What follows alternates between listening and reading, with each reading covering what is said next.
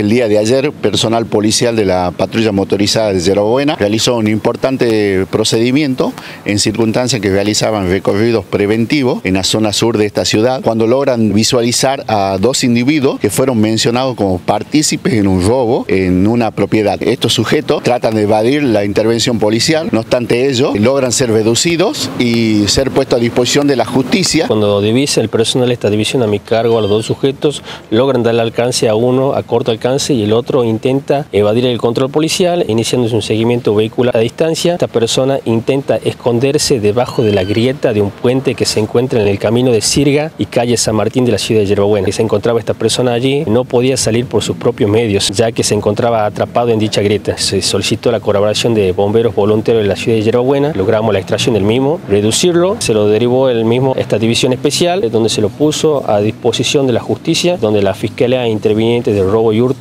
dispuso que el mismo quede en calidad de demorado y que los bienes recuperados sean entregados a la víctima. Estas dos personas ya cuentan con un frondoso prontuario por delito contra la propiedad.